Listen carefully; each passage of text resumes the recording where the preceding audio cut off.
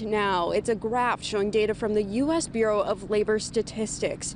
You can see on the bottom three jobs with median annual wages below $45,000 suffered the heaviest loss during that three year span across our entire state. That includes for food service, down more than 20,000 jobs during that time frame.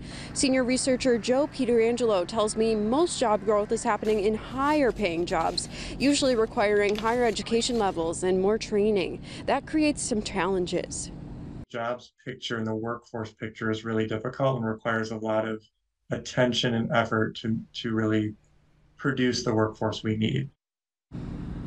Coming up in the next half hour, which jobs are more likely to see a boost on their paychecks? Live in Green Bay, Emily Roberts, Action 2 News.